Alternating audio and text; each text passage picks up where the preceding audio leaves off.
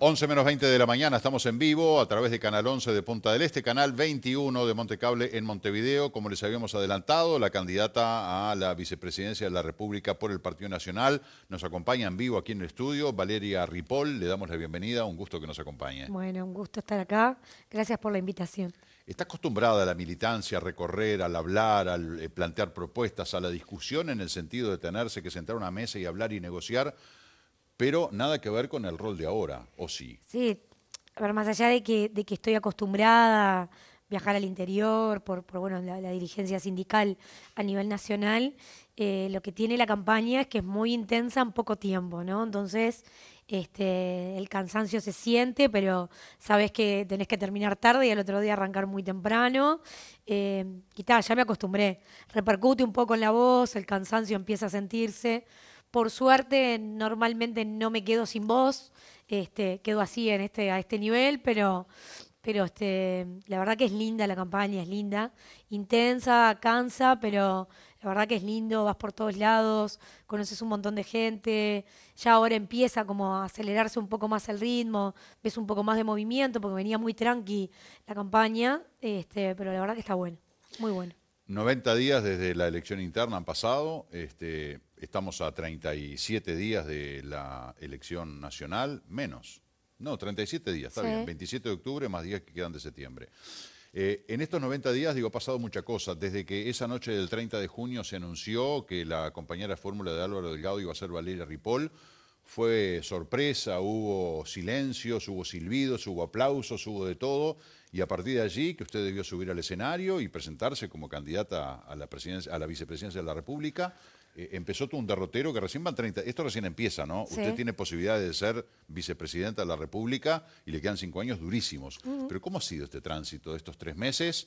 ¿Dónde fue cuestionada usted, el Partido Nacional, el no haber elegido otra persona para la fórmula? ¿Cómo, cómo ha lidiado con todo eso? Bueno, convengamos que de, la actividad que vengo uno está acostumbrado al cuestionamiento, a la discusión, al debate, eh, a las diferencias. O sea, no, no, no es algo que lo sentí personal además.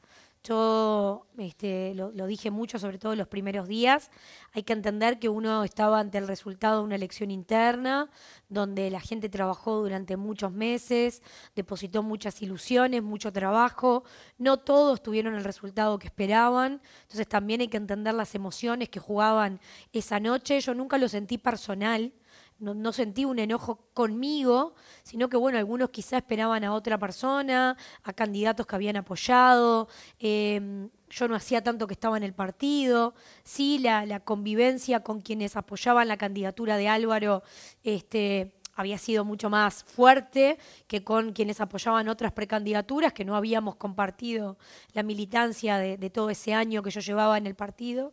Entonces entiendo que sorprendió, que quizá algunos no estaban de acuerdo, pero la verdad que después con el pasar de algunos días, que, bueno, que fue pasando eso del tema del resultado electoral para muchos, Nunca se había dado una, una, victoria de un precandidato con tanta contundencia como la de Álvaro a la interna del Partido Nacional, entonces también ahí hay un fuerte liderazgo. Este, y, bueno, y eso es lo que le permitió también tomar la decisión como la tomó. Yo tampoco lo sabía antes. ¿Cuándo se enteró Valeria Ripoll que iba a integrar la fórmula? Bueno, yo me enteré esa misma noche, un rato antes de lo que se, enteró, se enteraron todos. O sea, a partir de que se iban dando los datos, que avanzaba este, el conteo de votos y, bueno, y Álvaro estaba reunido. Este, yo la verdad a esa altura yo pensé que estaba resuelto ya, pero bueno, obviamente era, era algo que Álvaro sí tenía en su cabeza, pero que también tenía que ver con cómo se iba dando esa noche. Y una hora antes de lo que fue este, públicamente, eh, me enteré yo. O sea que tampoco fue que tuve demasiado tiempo para procesarlo antes de ir a la casa del partido y tener la reunión en el directorio y después bajar y subir al escenario. Yo en el escenario, la verdad, tampoco percibí si eran gritos de alegría o no. O sea, imagínate ahí la adrenalina, la emoción, estaba mi familia, mis hijos en primera fila, eh, o sea, la verdad que pasaban otras cosas, no diferenciabas lo que la gente decía o no decía. Además el hecho en sí de decir, bueno, soy candidata a sí, vicepresidencia de la República. Sí, claro, o sea, yo decía, hay momentos que no me voy a olvidar, además de, la importancia y la trascendencia en mi vida de, esa designación, el hecho de que de que llegaran mis hijos, porque en esa hora previa a llegar fue que dije, bueno, mi hermana fue a buscar a mi hijo, que venga, porque no estaba ahí conmigo, estaba solo la más chica. Este, Celeste, mi hija más grande, estaba trabajando en un circuito en, este, como delegada, entonces, o sea, este, que lleguen antes de que esto salga públicamente. Y mi hijo estaba, mis hijos todos estaban muy emocionados, estaban adelante del todo, enseguida de la valla, yo los veía llorar de arriba del escenario, o sea, la verdad que lo demás para mí era todo secundario, ¿no? O sea, esa emoción y ver a su mamá en ese lugar, ellos tampoco se lo imaginaban, ¿no? O sea, fue, fue una noche este, que obviamente uno no, no, va a olvidar nunca. Este, y después de que pasaron algunos días ya todo se ordenó y hoy me siento sumamente apoyada, respaldada, contenida por, por todos los compañeros del partido. Estamos todos trabajando juntos porque estamos convencidos que, que, el objetivo de todos es lograr ese segundo gobierno liderado por el Partido Nacional, obtener la mayoría parlamentaria eh, en octubre. Entonces ya todos somos uno y, y la sorpresa o lo que sea que se generó al inicio ya pasó rápidamente, ¿no? Seguramente lo habrá escuchado de que la gente dice, bueno, hay ausencia de propuestas, porque tenemos mucho ataque de Delgado a Orsi, de Orsi a Delgado, fuego cruzado, los que se denominan debates anacrónicos. Por ejemplo, yo ahora le hago una pregunta a Valeria Ripoll sobre Orsi, ella contesta y después Orsi esta noche en Canal 4 le responde lo que dijo Valeria Ripoll hoy aquí. Y así estamos permanentemente viendo cómo se responden unos a otros de un noticiero, un programa, una revista, un diario, pero en realidad hablemos de propuestas, hablemos de ¿Cómo van a hacer para solucionar los grandes problemas que tiene el país? Bueno, yo creo que la campaña del Partido Nacional es bien distinta a la del Frente Amplio. Eh, el Frente Amplio por primera vez el otro día en Colonia, eh, el candidato leyó 48 titulares en donde no permitió ni siquiera la repregunta de los periodistas. Por lo tanto, además de los titulares y de que muchos de ellos ya hoy son una realidad, por ejemplo los de seguridad, planteó tener 20.000 cámaras, ya tenemos 20.000 cámaras, tecnología, que ya tenemos esa tecnología, o sea que además de ser titulares sin contenido, este, muchas de las cosas ya hoy existen en Uruguay. Hay temas que estuvieron ausentes y que preocupan como este, que en 48 líneas no estuviera la discapacidad ninguna, por lo tanto no va a ser una prioridad. Y creo que a diferencia de esto, nosotros semanalmente, además de sí tener un programa, que se puede leer, descargar, es público hace meses. Este, nuestro partido todas las semanas presenta un capítulo de nuestro programa con distintos, este, obviamente con los puntos de mayor relevancia. Fue el primero educación, donde hablamos de las propuestas para universalizar las escuelas de tiempo completo y tiempo extendido para los niños de los dos quintiles más pobres. Hablamos de los bonos para los chicos también de los dos quintiles más pobres de quinto y sexto de liceo, para que puedan terminar sus estudios, puedan terminar la enseñanza secundaria. El siguiente capítulo fue el de bajar el costo de vida, donde planteamos bajar 10% más las tarifas en el próximo periodo, ya sumado al 12% que bajaron en este periodo de gobierno. Planteamos este, los cambios en las regulaciones y tasas para la importación y la producción de muchos productos, que eso va a abaratar el costo en la canasta. Hablamos de lo que tiene que ver con el tocador, que todos sabemos la diferencia con los países fronterizos, cuando hablamos del champú, el jabón, la pasta de dientes, algo que nadie desconoce, lo que tiene que ver con algunos productos este, como el aceite, el pollo, varios productos de la canasta que planteamos medidas, también la tecnología, cómo bajar los costos este, eh, y los cambios que hay que hacer para que esto eh, suceda, lo que tiene que ver con el tercer capítulo que fue discapacidad y políticas que tienen que ver con transformar eh, las políticas públicas en políticas de Estado que trasciendan gobiernos, porque casi el 20% de la población de nuestro país tiene alguna discapacidad y hay acciones que necesitan hacerse ya y que este, no pueden depender de voluntades políticas de un gobierno que puedan cambiar con otro. Eh, el lunes presentamos las que tienen que ver con políticas sociales, o sea, el Partido Nacional no ha tenido una campaña sin propuestas. Hemos planteado y puesto arriba de la mesa este, los distintos capítulos y así vamos a seguir hasta las elecciones. Eh, yo creo que son dos modelos bien diferentes los que se enfrentan y a pesar de que desde el Frente Amplio se intenta permanentemente querer ser parecidos a nosotros, no lo son. Acá se enfrenta el profundizar y la reelección de este buen gobierno y seguir por este rumbo, este camino, y del otro lado lo que hay es retroceder y volver al país que teníamos en 2018 y 2019, que fueron de los peores momentos del Uruguay. Entonces, en este, seguridad estamos medio parecidos, ¿no? Estamos, eh, en realidad no estamos parecidos porque este va a ser el primer gobierno que le entrega al próximo, después de la, de la vuelta a la democracia, la, reducción de, la, de los delitos. Y por el otro lado también, yo creo que hay el homicidio, obviamente, uno no puede negar. Yo no, no, voy a decir que estamos bien. Lo menciono y lo subrayo porque es que tiene mucho impacto. Tiene que ver, tiene que ver. La realidad es que el cambio, el combate al delito, este, es notorio lo que tiene que ver con normativa, con lo jurídico, con el respaldo a la policía. Acá se ha planteado por parte del Frente Amplio que se va a derogar gran parte de la LUC. No está claro hasta dónde. Van a derogar lo que tiene que ver con el respaldo jurídico. tiene que ver, bueno, ahí está el respaldo jurídico a la policía. La policía ya no va a pedir no va a poder pedir la cédula en la calle. La policía no va a tener el respaldo del delito de insulto a la policía. No va a tener, o sea, la, la realidad, bueno, lo que tiene que ver con el aumento de algunas penas con el no poder reducir pena en los delitos aberrantes, lo que tiene que ver con, la, este, con no borrar los antecedentes de los menores. Todo eso es la LUC. Entonces, Igualmente la, este, ciudadanía pensó que con la LUC se terminaba el recreo yo creo que no, hay, se terminó. No hay ninguna solución mágica y nosotros hay algo que, sufrimos y que lo aceptamos porque creo que tiene que ver con, con, el buen gobierno que se llevó adelante, es que permanentemente se comparan 15 años con 5. Y con 5 donde además dos todos estábamos 100% enfocados en el cuidado de las personas en la pandemia, en que el Uruguay no cayera, en que todo lo que este, no, no se recibió en, en, carga tributaria que tenía que ver con esto de que Uruguay siguiera abierto, de que la gente pudiera trabajar, de no caer en una cuarentena obligatoria, que era lo que planteaba el Frente Amplio, en que llegaran las vacunas, en, en que Uruguay fue modelo, en cómo nos levantamos rápidamente de la pandemia.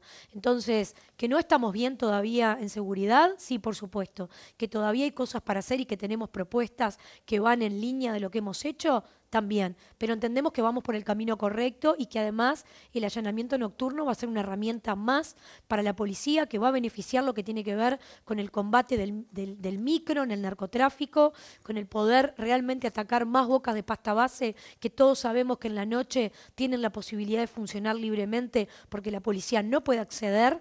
Este, cae el sol y sabemos que quizá tuviste un operativo todo el día, se demoró la resolución judicial y este, paraste un procedimiento que durante la noche desarticulan lo que están haciendo y no te permite ingresar. Entonces, es una herramienta más que nosotros la defendemos. ¿Está preparada la policía para eso? Sí, yo creo que, a ver, lo que hace el los sindicatos policiales está en la línea de lo que tiene que hacer un sindicato. ¿Se necesita más capacitación para aplicarlo? Perfecto, la van a tener. Eh, ¿Quieren solicitar algún implemento extra de seguridad? Correcto, se verá qué implemento solicitan. En Uruguay no hay ningún lugar donde la policía no pueda acceder. No somos iguales a otros países. Por eso yo defiendo tanto lo que tiene que ver con la política de seguridad que implementamos. En Uruguay no hay ningún territorio perdido, no hay ningún territorio donde nosotros no podamos entrar este, en cualquier este ámbito del Estado, pero la propia policía y cuando hay que quedarse en un territorio porque la situación se complicó, la policía interviene y se queda, como pasa en Cerro Norte, como pasó en Villa Española, en Montevideo y en otros lugares del país. Entonces, este, yo creo que vamos por el camino correcto y que las medidas, este grupo antimafia que nosotros proponemos, que es un modelo italiano que funcionó muy bien ahí, pero otros países también lo han incorporado, como Chile, Argentina lo trajo para incorporarlo en Rosario, que era realmente un lugar donde este, la situación estaba muy complicada. Este, y funciona, eh, nosotros lo vamos a aplicar, eh, es un grupo multiagencia, que bueno, que tiene una coordinación y un, cambio de normativa necesario que va a tener que pasar por el Parlamento y que requiere presupuesto, por eso no se pudo implementar obviamente este año. Eh, también se va a aumentar la cantidad de efectivos de la Guardia Republicana, ¿ah? en el entorno de 1.300 nuevos efectivos y además la descentralización de la Guardia Republicana en distintos departamentos del país y también descentralizada dentro del propio Montevideo, en algunos lugares donde tiene que estar instalada la Guardia Republicana. Se va a traer aún más tecnología que estamos viendo, este, lo que tiene que ver con esa tecnología que dentro del sistema de cámaras este, te avisa de algún movimiento este, sospechoso, entonces eh, acelera la respuesta de la policía, ha sido muy importante. Aumentar el número de cámaras, más allá de que nosotros la aumentamos exponencialmente en el Uruguay, hay zonas donde también queremos agregar más cámaras y tecnología. Bueno, ahí coincide con el Frente Amplio, de que se necesitan más cámaras. No, en realidad el Frente Amplio en sus propuestas planteó tener el número de cámaras que Uruguay tiene hoy. Pero más allá de que sean 20.000 este, o Las cámaras obviamente colaboran, ellos dejaron muy pocas cámaras instaladas y en puntos donde en realidad para nosotros quizá no eran tanto la prioridad. Eso pasa en las zonas que eligieron en, en Montevideo, en los barrios donde realmente se necesita ese lugar, donde hay mayor nivel de delincuencia, no habían cámaras. Este, sumado a la mala gestión municipal, donde no hay alumbrado, mala limpieza, mal estado de las calles, colabora para que la delincuencia se instale y no para combatirla, ¿no? Entonces, yo creo que se equivocaron muchísimo en la estrategia, por eso teníamos la situación que teníamos en los años 2018 y 2019, los años más violentos en el Uruguay. Por eso entiendo que estamos por el camino correcto y que todo esto que planteamos para profundizar con cinco años este, más de gobierno, además que nos van a permitir que todas esas acciones este, puedan mostrar mejores resultados, ¿no? Cuando se concretó su nombre, eh, inmediatamente la lectura que se hizo es decir, bueno, eh, Valeria Ripoll es una mujer que puede captar votos más de la izquierda, es una mujer que tiene una gran sensibilidad social, muy comprometida con todo eso de los más vulnerables, sobre todo con el tema de la discapacidad, de la inclusión, puede ser un activo muy importante para lograr complementar algo que de repente al Partido Nacional le estaba faltando. Todos la vimos muy emocionada cuando hicieron la presentación del programa y se tocó el tema de la discapacidad, por razones obvias, de que, bueno, este, Nahuel, uno de sus hijos, este, que, tiene autismo, y que, bueno, usted ha sido una luchadora incansable, eso lo sabe todo el mundo, propios y ajenos, quienes la quieran y quienes no la quieran, yo creo que eso está bueno porque se lo reconocen. Ahora, eh, ¿qué va a hacer el Partido Nacional en materia de discapacidad y de inclusión? Porque se ha hablado mucho y en realidad hoy nos ponemos a mirar las ciudades inclusivas son relativas, las oficinas públicas tampoco, los centros educativos tampoco. Al contrario, porque ser inclusivo no es poner una rampa, una baranda y un ascensor para ir al primer piso. Tal cual. Es mucho más. Es mucho más que eso. ¿Qué van a hacer en ese sentido? Bueno, obviamente que el día de la, de la conferencia eh, había muchas emociones, ¿no? Que tenían que ver con el hecho de que a mí la, a la política me trajo la discapacidad, porque desde la militancia social y la militancia sindical era imposible realmente cambiar la vida de este colectivo. Este, y el ver personas con empatía en este tema, como Álvaro, Beatriz Argimón, Martín Lema, eh, me hicieron sentir que había ahí una posibilidad de volver a la política después de tanto tiempo y tantas decepciones. ¿En el Frente Amplio este, no había ese lugar? No, en el Frente Amplio lo que pasó y, que a mí me, realmente me decepcionó mucho fue que me sentí usada como militante social. Nos usaron durante muchos años con el compromiso de que cuando fueran gobierno realmente iban a cambiar las cosas y que se iban a hacer muchas cosas que no se hicieron. 15 años es mucho tiempo, vos ahí podés realmente hacer transformaciones que cambien la vida de estos colectivos y esas transformaciones no llegaron. Eh, no hay excusas porque había tiempo, había recursos económicos en el país para hacerlo, mayorías parlamentarias y no se hicieron. Este, eso sumado a lo que tenía que ver con eh, la utilización por parte, sobre todo del Partido Comunista, pero de varios sectores del Frente Amplio, de los sindicatos para la política partidaria y sobre todo un sindicato como Adeón Montevideo para defender una mala gestión municipal, porque yo ahí llegué a ser la secretaria general en ese momento y a mí lo que me plantearon es que había que cuidar a Daniel Martínez, que no se lo podía cuestionar, que los trabajadores no eran una prioridad, eso más lo que tenía que ver con la discapacidad realmente me hizo ver que ese no era mi lugar este, que las cosas no eran como yo pensaba, me decepcioné mucho, me fui, estuve muchos años fuera, no participé de la elección pasada, fui una espectadora.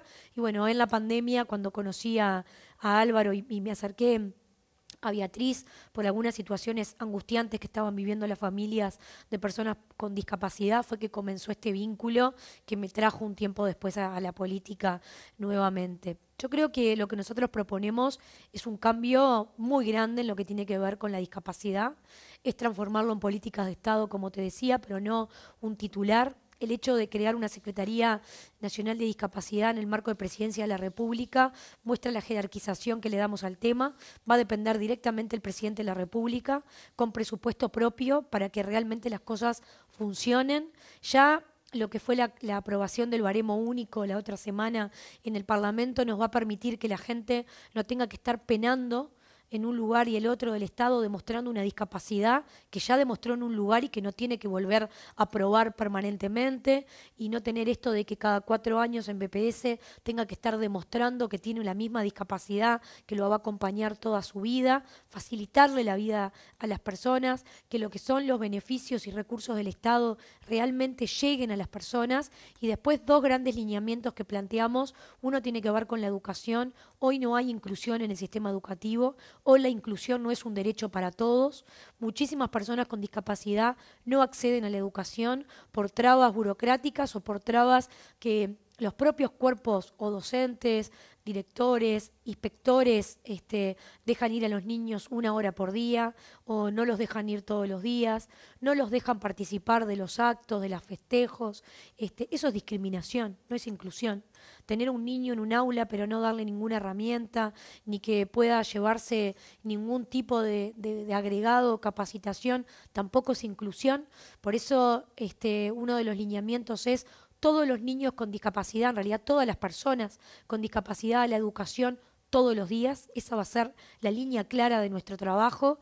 Vamos a crear la figura del asistente pedagógico, que junto con los facilitadores y el cuerpo docente van a generar adaptación de programas y una inclusión real vamos a hacer un proceso de las escuelas especiales y no eliminarlas, que es lo que se dijo por debajo, una suerte de manija a la gente. Este, en las escuelas especiales lo que vamos a hacer es ir en la línea de una observación que tiene Uruguay de Naciones Unidas en cuanto al formato, ya es muy antiguo, ya no es el formato que se necesita, la idea es transformarlos en centros para jóvenes y adultos y para esos niños que no tienen capacidad de inclusión por una discapacidad muy severa, pero ya no escuelas primarias, sino centros específicos donde puedan tener talleres, donde puedan adquirir alguna herramienta este, para, para su vida, pero ya no en el formato de escuela primaria especial.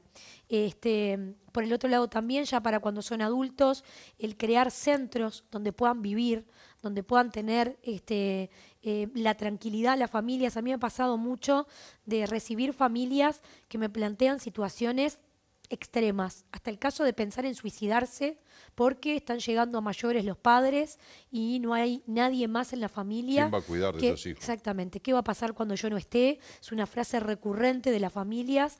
Hay mucha angustia este, y bueno, y el Estado ahí tiene que estar presente. Nosotros planteamos la creación de, de hogares que dependan del Estado, donde las familias puedan disfrutar a su hijo hasta el último día con la tranquilidad de que van a tener dónde vivir, de que van a tener quien los cuide y van a poder convivir con, con otros que, que, bueno, que están en esa misma situación y que van a seguir teniendo una vida feliz y contenida. Después, bueno, hay otras, este, otros puntos que no son quizá tan trascendentes, que tienen que ver con priorizar la atención de algunas discapacidades, como el síndrome de Down y autismo en la salud, entendiendo de que no pueden estar en una sala de espera, porque bueno, comienzan las crisis y a veces ni siquiera llegan a la atención que necesitan de un profesional, lo que tiene que con el acompañamiento en el mundo del trabajo, con tutorías del Ministerio de Trabajo para que puedan este, trabajar con ese acompañamiento que les permita desarrollarse y estar realmente incluidos.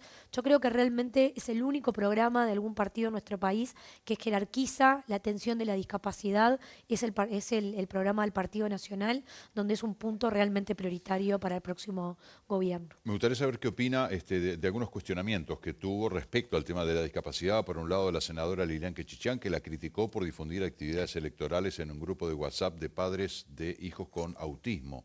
Este, que usted publicó en un grupo una difusión de una presentación de una actividad del, partido y la señora Quechichán dijo, no, no puedo usar, usando estos grupos que son para otra cosa para difundir actividad política. Y lo otro, así ya responden las dos juntas, desde el colectivo de familiares de menores eh, con autismo, todos pertenecemos, dicen que el Partido Nacional está utilizando el tema de la discapacidad como campaña, eh, porque se pudieron haber aplicado soluciones provisorias urgentes en estos cinco años y no se hicieron. Mira, ese grupo, todos pertenecemos, es un grupo que no representa ninguna institución. Eh, para mí es una movida política, porque no son referentes de ninguno de los centros ni agrupaciones que trabajamos hace años el tema del autismo.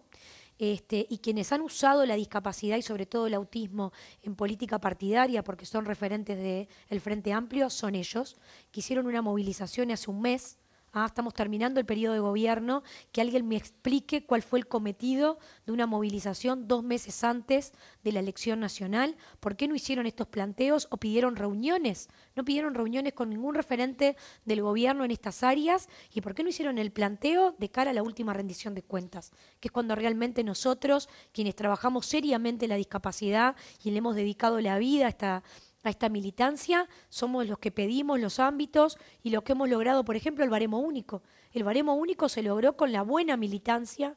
Hemos planteado el problema de los asistentes. Ellos piden el asistente de Mides para todo y el asistente Mides que creó el Frente Amplio en el Sistema Nacional de Cuidados no se pensó con el perfil de un acompañamiento en una escuela. La formación que tiene un asistente personal es para acompañar en domicilio, para asistir en, el baño, en la comida, en vestirse, en estar con la persona con discapacidad, pero no tiene formación pedagógica para poder trabajar en un aula, para poder trabajar con un docente. Este, esa es la mala utilización de los recursos que ellos pretenden, pero lo que hay que crear es el asistente pedagógico como figura dependiente de ANEP ahí vamos a asegurar este, la real inclusión. Por lo tanto, la verdad que un cuestionamiento de algo que se creó eh, en pleno periodo electoral para ser mal utilizada la discapacidad este, como botín electoral, la verdad que poco me interesa lo que opinen y tengo claro que no representan este, el sentir de las familias y de las personas que tienen algún familiar con esta condición.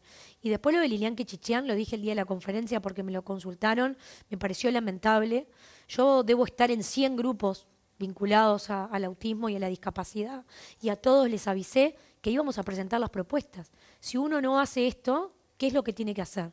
Es la mala utilización de un grupo de WhatsApp, el ponerle a las familias, miren que vamos a presentar estas propuestas, los invito a que las, a que las vean. Se nota que no sabe nada de discapacidad, que no tiene la menor idea, que nunca le, interesó a la senadora saber lo que vivimos las familias, porque todos estamos expectantes de ver qué se proponen estos temas. Yo me acuerdo como mamá, la elección pasada, leer en todos los programas, buscar el capítulo de discapacidad para ver qué proponía cada uno, para ver si realmente había algo de lo que nosotras estamos planteando. Es lo que vivimos permanentemente las familias. Fue muy infeliz su comentario, este, su publicación. No me va a decir ella dónde yo puedo invitar a la gente a que vea las propuestas de mi partido y sobre todo vinculado a la discapacidad. Este, pero me parece que fue muy infeliz, se equivocó, este, por eso sinceramente no le di mayor trascendencia que responder la pregunta que me han hecho en distintos medios, me parece que está equivocada y le invito a informarse cuáles son las, las reales prioridades vinculadas a, las familias de personas con discapacidad. Ripoll, según las encuestas, este, digo, para ser objetivos y basarnos en lo que dicen las encuestas, usted tiene posibilidades de ser la próxima vicepresidenta de la República. No sé si le ha caído la ficha o todavía no. Sí, sí, se acerca la elección y cae más aún, ¿no? Bueno. La gran responsabilidad. Hablando de todo este tipo de cosas, la salud mental es un problema que atraviesa de Artigas a Montevideo y de Río Negro a 33. ¿Qué plantea el Partido Nacional para la atención en salud mental? Que además de ser integral, ¿no? Porque son educadores, educando, la policía, los trabajadores, en la salud, todos. A ver, salud mental y adicciones también son este, trascendentes en lo que son los nuevos problemas del país no nuevos que son de ahora, pero sí se han transformado en, una gran prioridad en la atención. Nosotros este, ya al final de este gobierno planteamos la inversión de 22 millones de dólares vinculados a salud mental y adicciones, eh, la política que llevó adelante el INJO, ni silencio ni tabú, que bueno, lo que tiene que ver con la salud mental, el problema de salud mental y de suicidio adolescente no lo desconocemos. Y la verdad creo que ha sido una política de este gobierno que se ha manejado muy bien, el poner el tema en el centro, en hablar del tema, en hacer campañas como la que hasta el día de hoy podemos ver este, en los medios desde el gobierno nacional, creo que ha tenido una fuerte incidencia en este tema, pero bueno, nosotros también en lo que tiene que ver con adicciones planteamos que tiene que haber un centro en todos los departamentos, Maldonado y Tacuarembó lo tienen y son un buen ejemplo. El de Tacuarembó hace muy poquito tiempo que lo inauguramos, pero la realidad es que esto se tiene que atender a nivel nacional. Es una, uno de los puntos fundamentales en cuanto a los cambios en la salud. Todos sabemos que es muy dificultoso, obligar, no tenemos cómo obligar a los profesionales a que vayan al interior a trabajar. Por eso este, desde hace hemos trabajado mucho en cuanto a los consultorios de telemedicina, cuando no podemos llevar al, al profesional hasta el lugar. Los consultorios de telemedicina son la medicina del futuro. Hoy este, y a partir de la pandemia sobre todo, es algo que hemos desarrollado muchísimo y que vamos a seguir haciendo para esta este, situación, pero también para otros este, profesionales que, en el interior cuesta mucho acceder. En la discapacidad va a ser muy importante acceder a neuropediatras, a, psiquiatras infantiles, en, algunas, en algunas discapacidades.